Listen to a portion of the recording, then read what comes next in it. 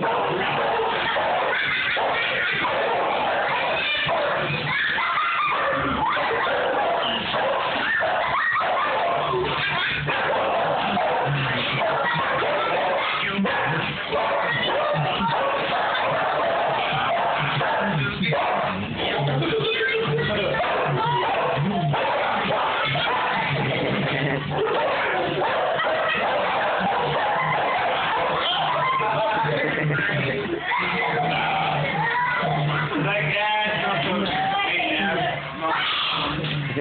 details of the the food, the structure, and it's going to look to you.